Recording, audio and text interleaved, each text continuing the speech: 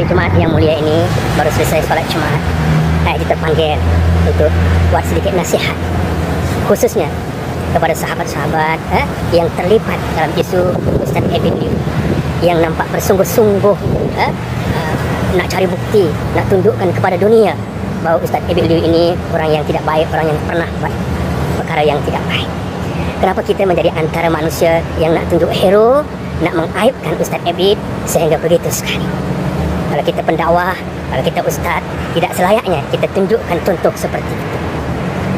Lihat apa yang Rasulullah ajar dengan akhlak dan adab. Sewaktu seorang wanita yang mengaku datang berjumpa Allah, mengaku berzina dan minta dihukum. Apa yang Rasulullah ajar? Apa yang Rasulullah buat? Dengan penuh kasih sayang, Rasulullah tidak hukum perempuan itu. Tapi nasihatkan wanita tersebut balik, kandungkan anak sehingga melahirkan. Nabi tak pernah hukum, tak pernah aibkan wanita tersebut. Bila datang selepas melahirkan, apa Nabi pesan? Balik kamu, susukan anak sehingga bercerai susu.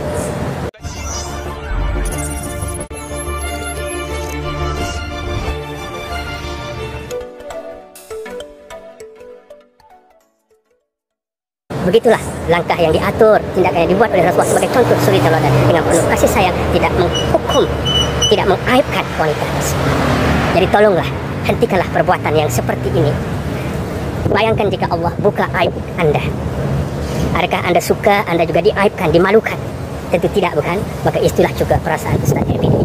Jikapun dia pernah berbuat salah, biarlah Allah yang hukum. Jangan kita yang menjadi manusia yang simbah minyak untuk menyalakan api malah menyalakan api ya, nak canang kepada dunia bahawa kita lah hero memperjuangkan agama tolong ya Allah tidak melihat masa lalu Allah terima taubat siapapun yang pernah berbuat silap tapi Allah melihat masa kini Ustaz Ebi telah melakukan perkara yang baik untuk umat untuk manusia perkara lepas biar Allah yang hukum tapi kita yang masih berterusan ya, bersikap nak jadi hero ya, sanggup mengaibkan orang lain eh, sehingga ke merata dunia melalui tularnya eh, berita-berita yang kita sengaja ini perkara yang tidak baik dan ingat pesan Nabi.